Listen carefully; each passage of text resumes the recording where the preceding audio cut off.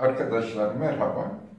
Bugün e, birçok e, arkadaşımızın e, istemiş olduğu bir videoyu hazırlamaya çalışacağım, anlatmaya çalışacağım. Dremel, gravür aleti, vız vız, avuç içi, mini taşlama diye geçen aletimizin, olmazsa olmaz aletimizin nerelerde kullanıldığını, aksesuarlarını teker teker anlatmaya çalışacağım. Birincisi bu e, e şey e, gravür aleti e, veya diremel, diremel daha yaygındır. E,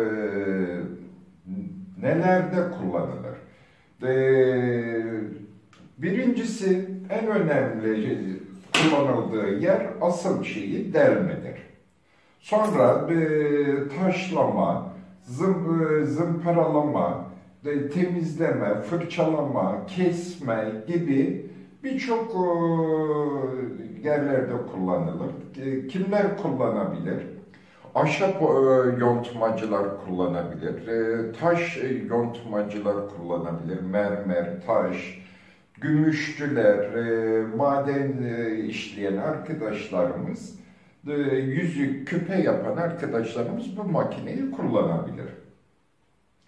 E, burada birçok şey görüyorsunuz, alet, e, şey aksesuar görüyorsunuz, aletin aksesuarını görüyorsunuz. Bunları size teker teker anlatmaya çalışacağım. Ee, videoyu biraz yakın alacağım. Ee, Ondan sonra size teker teker hepsini nasıl kullanacağımızı, nerelerde kullanacağımızı göstermeye, anlatmaya çalışacağım arkadaşlar. Dremeli satın aldığımızda birçok alet, yanı, e, aksesuar yanında verilmektedir. E, işimize yarayan e, birçok şey de verilmemektedir. Onları ne yapıyoruz? Yavaş yavaş kendimiz gördüğümüzde alıyoruz. Sakın lazım olduğunda aramaya kalkmayın bulamazsınız. Gördüğünüz anda hemen satın alın ve şeyinizi çantanıza atın. E, aleti ilk önce anlatmaya başlayalım.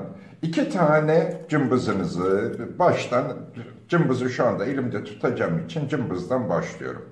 Bir ince uçlu bir cımbız, bir de kalın uçlu bir cımbız alıyoruz. Bunlar bir gördüğünüz yerde satın alın, dursun, yanınızda dursun.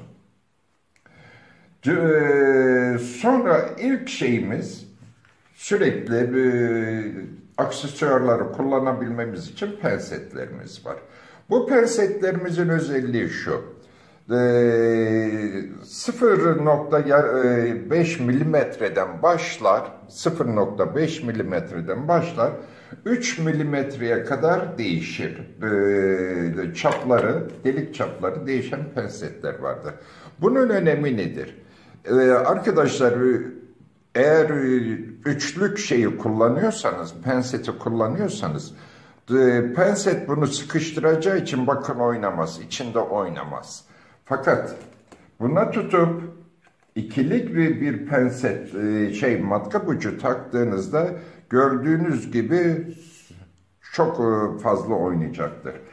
E, sadece ikilik üçlük mü? Bakın gördüğünüz gibi doktor arkadaşlarımızın, diş hekimlerimizin kullandığı pens şeyler, oyma aletleri, bu oyma aletlerini de nedir? Bir buçuk milimetrelik veya 1.8 milimetrelik bir, bir şey var, çapı var. Onun için bunun içinde bakın gördüğünüz gibi büyük geldi. Evet bu tam geldi. Buna oturtturduğumuz zaman artık bu sağa sola yatmayacaktır. Dümdüz dönecektir. Onun için pensetlerimizi 0.5'ten 3 e, milimetreye kadar olanları yani onlu bir set almanızda e, hazır gelmediyse onlu bir set almanızda büyük bir fayda var. Ee, birinci işimiz ne? Şöyle bir anlatmaya başlayayım. Hassas delici uçlar yani matkap uçları. Bunlar elimizde bulunacak. Ee, metal e, ve plastik kesme diskleri. Bakın gördüğünüz gibi son derece ince.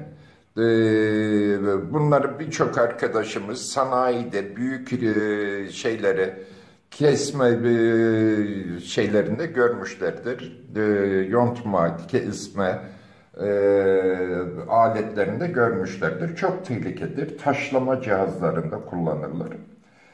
E, ikincisi nedir? E, yüzey taşlama.